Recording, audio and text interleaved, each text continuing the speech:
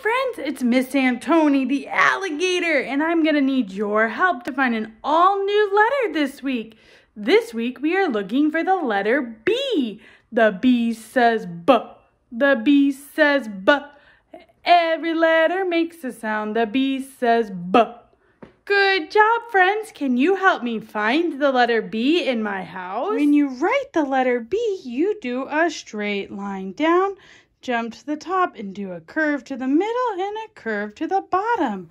Let's see if we can find the letter B. Hmm, where could it be? Hmm. there it is! It's on my doorknob. Silly letter B. Let's see if it matches our letter B we wrote earlier. It does. It's a straight line down, curve to the middle, and a curve to the bottom. Thanks for helping Miss Antoni the alligator find the letter B in her house. We'll see you next time, friends, for an all new letter. Bye, friends.